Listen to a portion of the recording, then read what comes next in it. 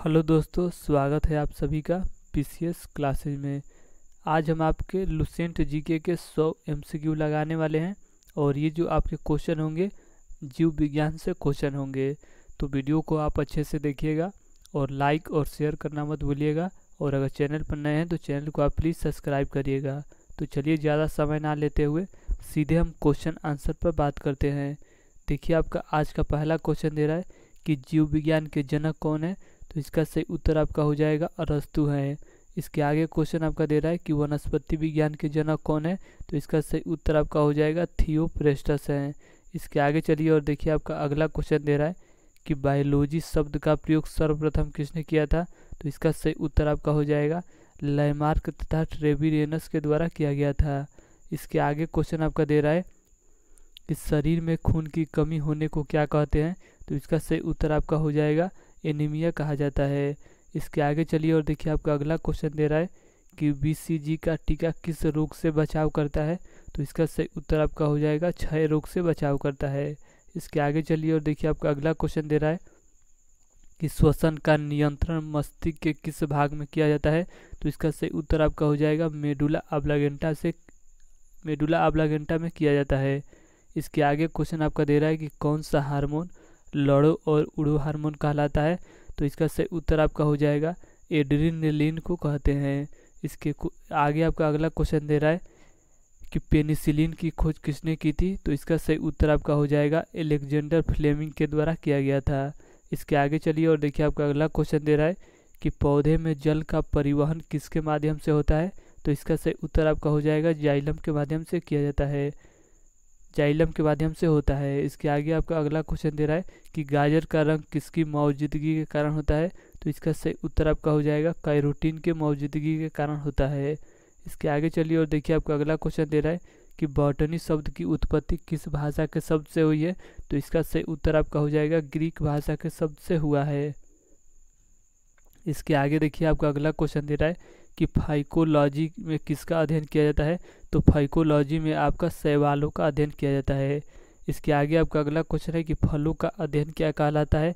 तो फलों को अध्ययन जो होता है, इसे हम पोमोलॉजी के नाम से जानते हैं। इसके आगे चलिए और देखिए आपका अगला क्वेश्चन है कि प्रयोगशाला में सर्वप्रथम डीएनए का संश्लेषण किसने किया था? तो इसका सही उत्तर आपका हो जाएगा, खुराना के द्वारा किया गया था। इसके आगे चलिए और देखिए आपका अगला क्वेश्चन है कि मनुष्य में द्विगुणित क्रोमोसोम की संख्या कितनी है? तो तेईस जोड़ी होती है। इसके आगे चलिए और देखिए आपका अगला क्वेश्चन दे रहा है कि एक सामान्य मानव शरीर कोशिका में गुणसूत्रों की संख्या कितनी होती है? तो छियालीस गुणसूत्र होते हैं। इसके आगे क्वेश्चन आपका दे रहा है कि मनुष्य में नर का गुणसूत्र सम्मिश्रण होता है तो एक्स और वाई होता है। इसके आगे आपका अगला क्वेश्चन दे रहा है कि नवजात शिशु के लिंग का निर्धारण किससे वंशानुगत हुए गुणसूत्र द्वारा किया जाता है तो आपके पिता के गुणसूत्र के माध्यम से किया जाता है। इसके आगे आपका अगला क्वेश्चन दे रहा है कि गुणसूत्र में होते हैं तो गुणसूत्र में आपके डीएनए और आपका प्रोटीन होता है। इसके आगे चलिए और देखिए आपका अगला क्वेश्चन दे रहा है कि मनुष्य ने कौन से क्रोमोसोम के मिलने से बालक का जन्म होता है तो इसका सही उत्तर आपका हो जाएगा पुरुष का वाई और स्त्री का एक गुणसूत्र के मिलने से बालक का जन्म होता है। इसके आगे चलिए और देखिए आपका अगला क्वेश्चन दे रहा है कि अशुद्ध रक्त किसमें बहता है? तो अशुद्ध रक्त आपके सिराओं में बहता है। इसके आगे आपका अगला क्वेश्चन है कि मनुष्य के शरीर में सबसे बड़ी ग्रंथि कौन सी है? तो यकृत ग्रंथि सबसे बड़ी ग्रंथि है। इसके आगे चलिए और देखिए आपका अगला क्वेश्चन है कि मनुष्य में मादा जनन अंग से किस हार्मोन का स्राव होता है? तो इसका सही उत्तर आपका हो जाएगा रिलैक्सिन हार्मोन का स्राव होता है। इसके आगे चलिए और देखिए आपका अगला क्वेश्चन है कि प्रकाश संश्लेषण के दौरान निकली ऑक्सीजन किससे उत्पन्न होती है? तो इसका सही उत्तर आपका हो जाएगा जल से उत्पन्न होती है। इसके आगे आपका अगला क्वेश्चन है कि क्लोरोफिल नामक पदार्थ कहाँ उपस्थित होता है? तो इसका सही उत्तर आपका हो जाएगा पौधों की कोशिकाओं में उपस्थित होता है। इसके आगे आपका अगला क्वेश्चन है कि मनुष्य में ऐच्छिक गतियों का नियंत्रण किसके द्वारा किया जाता है? तो इसका सही उत्तर आपका हो जाएगा शेरी सेरिब्रम के द्वारा किया जाता है। इसके आगे आपका अगला क्वेश्चन है कि पौधे में प्रकाश संश्लेषण की क्रिया कब होती है? तो सूर्य के प्रकाश किस टाइम होती है।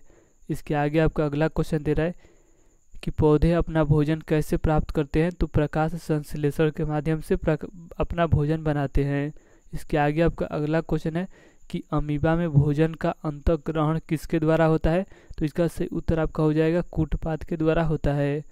इसके आगे आपका अगला क्वेश्चन है कि गाजर क्या है? तो गाजर एक प्रकार का जड़ होता है। इसके आगे आपका अगला क्वेश्चन है कि आलू का खाने योग्य भाग कौन सा है? तो इसका सही उत्तर आपका हो जाएगा, तना। खाने योग्य भाग है आलू का। इसके आगे आपका अगला क्वेश्चन है कि प्याज में खाद्य भाग कौन सा है? तो इसका भी सही उत्तर आपका हो जाएगा, तना। इसके आगे आपका अगला क्वेश्चन है कि सबसे लंबा जीवित वृक्ष कौन सा है? तो सिकुआ जो वृक्ष होता है, ये आपका सबसे लंबा जीवित वृक्ष होता है। इसके आगे आपका अगला क्वेश्चन है कि तारपीन का तेल कहाँ से प्राप्त किया जाता है? तो चीड़ के पेड़ से प्राप्त किया जाता है। तो चलिए इसके आगे देखिए आपका अगला क्वेश्चन है कि बाँस को किसमें वर्गीकृत किया जाता है? तो बाँस को आपके घास में वर्गीकृत किया जाता है। इसके आगे आपका अगला क्वेश्चन है कि जैव ईंधन किसके बीज से प्राप्त होता है? तो इसका सही उत्तर आपका हो जाएगा जेट्रोफा के बीज से प्राप्त किया जाता है। इसके आगे आपको देखिए अगला क्वेश्चन दे रहा है कि पादप रोगों का सबसे उत्तरदायी कारक कौन सा है? तो इसका सही उत्तर आप, आपका हो जाएगा फफूदी है। क्वेश्चन दे रहा है कि हरित बाली रोग किस फ़सल से संबंधित है? तो इसका सही उत्तर आपका हो जाएगा बाजरा से संबंधित है। इसके आगे चलिए और देखिए आपका अगला क्वेश्चन दे रहा है कि टिक्का रोग किस फ़सल से संबंधित है? तो इसका सही उत्तर आपका हो जाएगा मूंगफली से संबंधित है। इसके आगे आपका अगला क्वेश्चन है कि धान का प्रसिद्ध रोग, खैरा रोग किसके कारण से होता है? तो इसका सही उत्तर आपका हो जाएगा, जस्ता की कमी के कारण होता है। इसके आगे चलिए और देखिए आपका अगला क्वेश्चन है कि नींबू का कैंकर रोग किससे होता है? तो इसका सही उत्तर आपका हो जाएगा, जीवाणु से होता है। इसके आगे आपका देखिए अगला क्वेश्चन दे रहा है कि आलू में ब्लैक हार्ट का कारक कौन है? तो इसका सही उत्तर आपका हो जाएगा ऑक्सीजन की कमी के कारण होता है। इसके आगे देखिए आपका अगला क्वेश्चन दे रहा है कि करनाल बंट नामक बीमारी किससे संबंधित है? तो इसका सही उत्तर आपका हो जाएगा गेहूँ से संबंधित है। इसके आगे देखिए आपका अगला क्वेश्चन दे रहा है कि वंशागति के अध्ययन से संबंधित जीव विज्ञान की शाखा को क्या कहते हैं? तो इसे हम अनुवंशिकी कहते हैं। इसके आगे देखिए आपका अगला क्वेश्चन दे रहा है कि अनुवंशिकी के जनक वैज्ञानिक कौन है? तो ग्रेगर मैंडल हैं। इसका सही उत्तर हो जाएगा। इसके आगे चलिए, देखिए आपका अगला क्वेश्चन है कि जीन शब्द का जीन शब्द का सर्वप्रथम प्रयोग किसने किया था? तो जुहान सन के द्वारा किया गया था। इसके आगे चलिए और देखिए आपका अगला क्वेश्चन दे रहा है कि किसके द्वारा अनुवंशिकता के विज्ञान को अनुवंशिकी कहा गया है? तो इसका सही उत्तर आपका हो जाएगा, बेटसन के द्वारा कहा गया है। इसके आगे चलिए और देखिए आपका अगला क्वेश्चन है कि अनुवंशिकी उत्परिवर्तन किसमें होता है? तो इसका सही उत्तर आपका हो जाएगा क्रोमोसोम में होता है। इसके आगे चलिए और देखिए आपका अगला क्वेश्चन है कि मनुष्य के शरीर में कुल कितनी हड्डियाँ होती है? तो 206 हड्डी होती है। इसके आगे चलिए और देखिए आपका अगला क्वेश्चन है कि मानव शरीर की सबसे छोटी हड्डी कौन सी है? तो इसका सही उत्तर आपका हो जाएगा स्टेपीज हड्डी, सबसे छोटी हड्डी है। अगला क्वेश्चन है कि मानव शरीर की सबसे लंबी हड्डी कौन सी है? तो ये आपका, इसका सही उत्तर आपका हो जाएगा फीमर की हड्डी सबसे लंबी हड्डी है। इसके आगे आपका अगला क्वेश्चन है कि मानव शरीर के किस अंग की हड्डी सबसे लंबी हड्डी है? तो वही आपका फीमर यानी कि जांग की जो हड्डी होती है, सबसे लंबी होती है। इसके आगे आपका अगला क्वेश्चन है कि लार में कौन सा एंजाइम पाया जाता है? तो लार में आपका टाइलिन नामक एंजाइम पाया जाता है। इसके आगे आपका देखिए अगला क्वेश्चन दे रहा है कि पेट में भोजन को पचाने के लिए किसकी खास आवश्यकता होती है? तो एंजाइम की खास आवश्यकता होती है भोजन को पचाने में। देखिए इसके आगे आपका अगला क्वेश्चन दे रहा है कि सोते समय रक्त दाब में क्या परिवर्तन होता है? तो इसका सही उत्तर हो जाएगा कि रक्त दाब आपका घट जाता है। चलिए इसके आगे देखते हैं अगला इसके आगे आपका देखिए, अगला क्वेश्चन दे रहा है कि स्वस्थ मनुष्य में प्रति मिनट हृदय स्पंद कितनी बार होता है? तो इसका सही उत्तर आपका हो जाएगा, बहत्तर बार होता है। इसके आगे आपका अगला क्वेश्चन दे रहा है कि मानव हृदय में कितने कोष्ठ होते हैं? तो इसका सही उत्तर हो जाएगा, आपके चार कोष्ठ होते हैं। इसके आगे आपका अगला क्वेश्चन दे रहा है कि दौड़ लगाते समय मनुष्य का रक्तचाप में क्या परिवर्तन होता है? तो रक्तचाप आपका बढ़ जाता है। इसके आगे चलिए और देखिए, आपका अगला क्वेश्चन है कि मानव शरीर में रुधिर बैंक का कार्य कौन करता है? तो पलीहा आपका सही उत्तर हो जाएगा। इसके आगे चलिए, देखिए आपका अगला क्वेश्चन दे रहा है कि रक्त में लाल रंग किसके कारण होता है? तो होमोग्लोबिन के कारण होता है। इसके आगे आपका अगला क्वेश्चन दे रहा है कि हीमोग्लोबिन किसका महत्वपूर्ण घटक है? तो आरबीसी का प्रमुख घटक माना जाता है। इसके आगे आपका अगला क्वेश्चन दे रहा है कि मानव शरीर का रक्त बैंक किसे कहा जाता है? तो पलीहा को कहा जाता है। इसके आगे चलिए और देखिए आपका अगला क्वेश्चन है कि लाल रक्त कणिकाएँ किस नाम से जानी जाता है, जानी जाती है? तो इसे हम इरोथ्रोसाइट के नाम से जानते हैं। इसके आगे आपका अगला क्वेश्चन है कि मनुष्य की लाल रक्त कणिकाओं का जीवन काल कितना होता है? तो 120 दिन होता है। इसके आगे आपका देखिए अगला क्वेश्चन दे रहा है कि मानव शरीर में लाल रक्त कण का निर्माण कहाँ होता है? तो इसका सही उत्तर आपका हो जाएगा, अस्थि मज्जा में होता है। इसके आगे आपका देखिए अगला क्वेश्चन दे रहा है कि सफ़ेद रक्त कण का मुख्य कार्य क्या होता है? तो इसका सही उत्तर आपका हो जाएगा रोग प्रतिरोध, रोधक क्षमता धारण करना। इसके आगे चलिए और देखिए आपका अगला क्वेश्चन दे रहा है कि रक्त समूह की खोज किसने की थी? तो लैंड स्टीनर के द्वारा किया गया था रक्त समूह की खोज। इसके आगे आपका अगला क्वेश्चन है कि मानव मस्तिष्क में बुद्धि का केंद्र क्या होता है? तो इसका सही उत्तर आपका हो जाएगा सेरेब्रम होता है। इसके आगे आपका अगला क्वेश्चन है कि मनुष्य के मस्तिष्क का सबसे बड़ा भाग कौन सा है? तो प्र मस्तिष्क जो होता है, ये आपका मनुष्य के मस्तिष्क का सबसे बड़ा भाग होता है। इसके आगे आपका अगला क्वेश्चन दे रहा है कि मानव शरीर की सबसे बड़ी कोशिका कौन है? तो इसका सही उत्तर आपका हो जाएगा, तंत्रिका कोशिका सबसे बड़ी कोशिका है। इसके इसके आगे आपका देखिए, अगला क्वेश्चन दे रहा है कि मूत्र का पीला रंग किसकी मौजूदगी के कारण होता है? तो इसका उत्तर आपका हो जाएगा यूरोक्रोम की मौजूदगी के कारण होता है। इसके आगे आपका अगला क्वेश्चन है कि मानव शरीर की किस ग्रंथि को मास्टर ग्रंथि कहा जाता है? तो इसका सही उत्तर आपका हो जाएगा पीयूष ग्रंथि को कहा जाता है। इसके आगे आपका देखिए अगला क्वेश्चन दे रहा है कि मनुष्य के शरीर की सबसे छोटी ग्रंथि कौन सी है? तो पिट्रियूटी ग्रंथि जो होती है, ये आपकी सबसे छोटी ग्रंथि मानी जाती है। इसके आगे चलिए और देखिए आपका अगला क्वेश्चन है कि कुत्ते के काटने से कौन सा रोग फैलता है? तो इसका सही उत्तर आपका हो जाएगा रेबीज रोग फैलता है। इसके आगे देखिए, आपका अगला क्वेश्चन दे रहा है कि सेब में कौन सा तत्व अधिक पाया जाता है? तो इसका सही उत्तर आपका हो जाएगा, लोहा सबसे ज़्यादा पाया जाता है। इसके आगे देखिए, आपका अगला क्वेश्चन दे रहा है कि ऊर्जा उत्पादन के लिए कोशिका प्रायः किसका उपयोग करती है? तो इसका सही उत्तर आपका हो जाएगा, ग्लूकोज का प्रयोग करती है। इसके आगे चलिए और देखिए आपका अगला क्वेश्चन दे रहा है कि पेप्सिन नामक एंजाइम शरीर की किस क्रिया में सहायता करती है? तो पाचन में बहुत ज़्यादा मदद करती है। इसके आगे चलिए और देखिए आपका अगला क्वेश्चन है कि मानव शरीर का कौन सा अंग रक्त शुद्धिकरण के लिए उत्तरदायी है? तो इसका सही उत्तर आपका हो जाएगा ब्रिक जो होता है, यह आपका रक्त का शुद्धिकरण के लिए बहुत ही ज़्यादा उपयोगी माना जाता है। इसके आगे आपका अगला क्वेश्चन है कि शरीर के अंगों से हृदय तक अशुद्ध रक्त लाने वाली वाहिनी क्या कहलाती है? तो इसका सही उत्तर आपका हो जाएगा सिराए देखिए, इसके आगे आपका अगला क्वेश्चन दे रहा है कि हृदय से शरीर के अंगों तक शुद्ध रक्त ले जाने वाली वाहिनी क्या कहलाती है? तो इसका सही उत्तर आपका हो जाएगा धमिनिया। इसके आगे आपका अगला क्वेश्चन दे रहा है कि एक समान युवा मनुष्य में रक्तचाप कितना होता है? तो 80 प्रति 120 एम पारा होता है। इसके आगे चलिए और देखिए आपका अगला क्वेश्चन दे रहा है कि मनुष्य के मस्तिष्क की सबसे बाहरी झिल्ली क्या होती है? तो इसे हम ड्यूरामीटर के नाम से जानते हैं। चलिए इसके आगे देखिए आपका अगला क्वेश्चन है कि मानव शरीर में रक्तचाप किससे नियंत्रित होता है? तो अधिवृक ग्रंथि से नियंत्रित किया जाता है। इसके आगे आपका देखिए अगला क्वेश्चन दे रहा है कि थायराइड ग्रंथि का स्थान कहाँ है? तो थायराइड ग्रंथि आपके गला में पाया जाता है।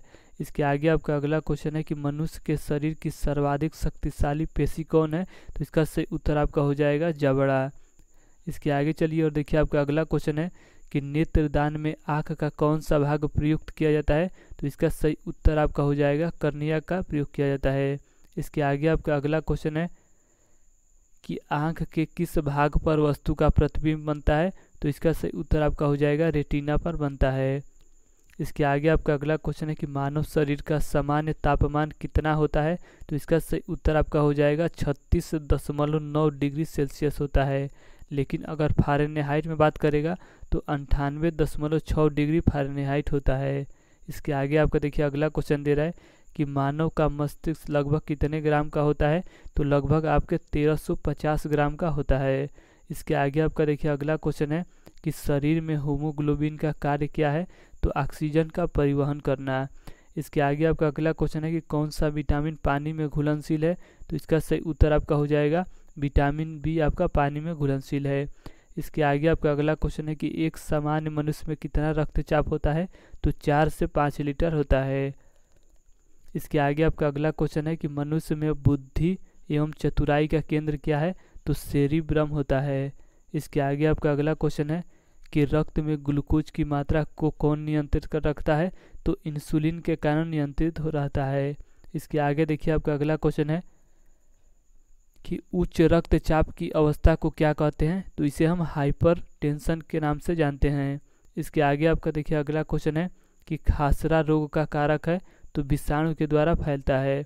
अगला आपका क्वेश्चन है कि ब्लड कैंसर में, ब्लड कैंसर को आमतौर पर किस नाम से जान, जाना जाता है? तो इसका सही उत्तर आपका हो जाएगा ल्यूकीमिया के नाम से हम जानते हैं। देखिए, इसके आगे आपका अगला क्वेश्चन दे रहा है कि निमोनिया रोग मानव शरीर के किस अंग को प्रभावित करता है? तो इसका सही उत्तर आपका हो जाएगा फेफड़ा को प्रभावित करता है। इसके आगे देखिए, आपका अगला क्वेश्चन दे रहा है कि शरीर के अंदर लौह की कमी से उत्पन्न होने वाला रोग कौन सा है? तो रक्तहीनता रोग है। इसके आगे चलिए और देखिए आपका अगला क्वेश्चन है कि हमारे शरीर में लाल रुधिर कणिकाओं का निर्माण कहाँ होता है? तो इसका सही उत्तर आपका हो जाएगा अस्थि मज़ा में होता है। इसके आगे आपका अगला क्वेश्चन है कि कुनैन किस रोग की दवा है? तो इसका सही उत्तर आपका हो जाएगा मलेरिया की दवा है। इसके आगे आपका अगला क्वेश्चन है कि कौन सा जीव फ्लेग रोग फैलाता है? तो इसका सही उत्तर आपका हो जाएगा चूहा के द्वारा फैलता है। इसके आगे आपका अगला क्वेश्चन है कि मनुष्य शरीर में प्लाज्मा में मुख्य अंश क्या होता है? तो मुख्य अंश आपका जल होता है। इसके आगे आपका अगला क्वेश्चन है कि शरीर के सारे उतकों को ऑक्सीजन कैसे प्राप्त होती है? तो रक्त रक्त के माध्यम से प्राप्त होता है। इसके आगे देखिए आपका अगला क्वेश्चन है कि शरीर में उतकों का निर्माण किससे होता है? तो प्रोटीन से आपका होता है। इसके आगे आपका अगला क्वेश्चन है कि विटामिन शब्द किसने प्रतिपादित किया था? तो फंक नामक वैज्ञानिक ने प्रतिपादित किया था। इसके आगे आपका अगला क्वेश्चन है कि विटामिन ए की कमी से कौन सा रोग होता है? तो रतौधी नामक रोग होता है।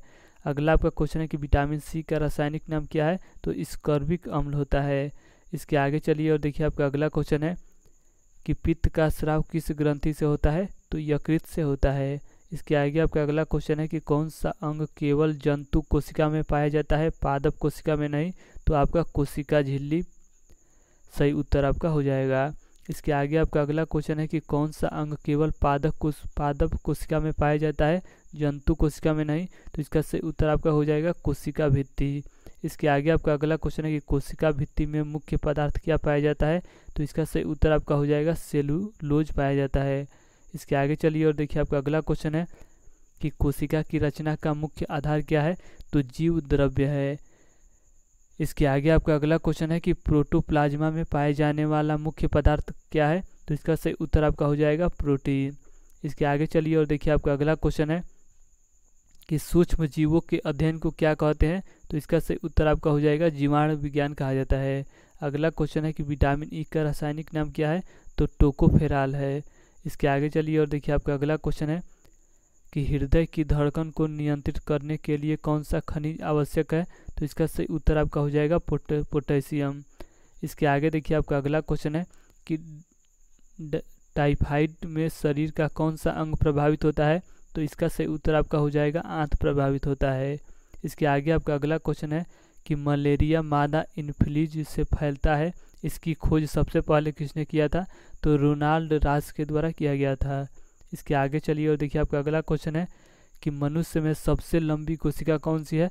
तो तंत्रिका कोशिका सबसे लंबी कोशिका है। इसके आगे चलिए और देखिए आपका अगला क्वेश्चन है कि राइबोसोम किस प्रक्रिया में महत्वपूर्ण भूमिका निभाता है? तो प्रोटीन संश्लेषण में प्रमुख भूमिका निभाता है। इसके आगे आपका अगला क्वेश्चन है कि पौधों द्वारा वायुमंडल में जल छोड़ने की क्रिया क्या कहलाती है? तो इसे हम वाष्प उत्सर्जन कहते हैं। इसके आगे आपका अगला क्वेश्चन है कि गाय के दूध का रंग किसकी मौजूदगी के कारण थोड़ा पीला होता है तो कैरोटीन के मौजूदगी के कारण थोड़ा सा पीला होता है। इसके आगे चलिए और देखिए आपका अगला क्वेश्चन है कि घात करो और छिप जाओ नाम से विख्यात विषाणु है तो आर एस भी विषाणु को कहा जाता है। इसके आगे आपका अगला क्वेश्चन है कि दूध में कौन सा प्रोटीन पाया जाता है तो केसिन नामक प्रोटीन पाया जाता है। इसके आगे आपका अगला क्वेश्चन है कि रुधिर में श्वेत रक्त कणिकाओं की अत्यधिक मात्रा में उपस्थित उपस्थित रोग विज्ञान की भाषा को क्या कहते हैं? तो इसका सही उत्तर आपका हो जाएगा ल्यूकीमिया कहा जाता है। इसके आगे आपका अगला क्वेश्चन है कि स्कर्वी रोग किसकी कमी से होता है? तो विटामिन सी की कमी से होता है। इसके आगे चलिए और देखिए आपका अगला क्वेश्चन है कि कैल्शियम और फास्फोरस शरीर के किस अंग के लिए लाभकारी हैं? तो इसका सही उत्तर आपका हो जाएगा, हड्डियों के लिए लाभकारी हैं। इसके आगे आपका अगला क्वेश्चन है कि पौधे हरे क्यों दिखाई देते हैं? तो क्लोरोफिल क्लोरोफिल की उपस्थिति के कारण हरे दिखाई देते हैं। अगला आपका क्वेश्चन है कि कौन सा विटामिन बच्चों को रिकेट से रोग से बचाता है? तो विटामिन डी बचाता है। इसके आगे आपका अगला क्वेश्चन है कि हमारे शरीर में प्रोटीन का पाचन किस अंग में होता है? तो इसका सही उत्तर आपका हो जाएगा, बड़ी आंत में होता है। इसके आगे आपका अगला क्वेश्चन है कि अमीबा किस किस्म का जीव है? तो एक कोशिका वाला जीव है। इसके आगे आपका अगला क्वेश्चन है कि पौधों का जनन भाग कौन सा है? तो पौधों का जनन भाग आपका पुष्प होता है। इसके आगे आपका अगला क्वेश्चन है कि कौन से रक्त समूह का व्यक्ति सभी रक्तदान रक्तदान कर सकता है? तो इसका से उत्तर आपका हो जाएगा, वो रक्त वाला व्यक्ति सभी को रक्तदान कर सकता है। इसके आगे आपका अगला क्वेश्चन है कि कौन सा रक्त समूह का व्यक्ति सभी से रक्त ले सकता है? तो इसका सही उत्तर आपका हो जाएगा ए बी रक्त वाला व्यक्ति। इसके आगे आपका अगला क्वेश्चन है कि फलों और सब्जियों में कौन सा विटामिन नहीं होता है? तो विटामिन डी नहीं होता है। इसके आगे आपका अगला क्वेश्चन है कि कोशिका का शक्ति गृह किसे कहा जाता है? यानी कि कोशिका का पावर हाउस पावर हाउस किसे कहा जाता है? तो इसका सही उत्तर आपका हो जाएगा माइट्रोकांडिया को कहा जाता है। इसके आगे आपका अगला क्वेश्चन है कि सबसे बड़ा अंडा किसका होता है? तो सुतुर मुर्ग का अंडा सबसे बड़ा होता है। इसके आगे आपका अगला क्वेश्चन है कि मनुष्य में कितने गुणसूत्र होते हैं? तो छियालीस गुणसूत्र होते हैं। इसके आगे आपका अगला क्वेश्चन है कि सामान्यतः किसके गुणसूत्र से बच्चों का लिंग निर्धारण होता है? तो पिता के गुणसूत्र से। इसके आगे आपका अगला क्वेश्चन है कि सर्वप्रथम जीव की उत्पत्ति कहाँ पर हुई थी? तो आपके जल में हुई थी। इसके आगे आपका अगला क्वेश्चन है कि पुष्पों का अध्ययन कहलाता है?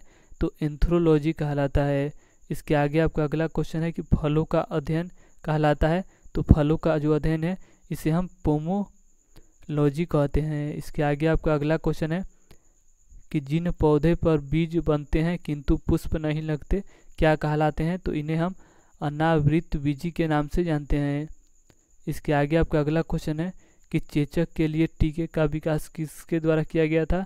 तो एडवर्ड जेनर के द्वारा किया गया था।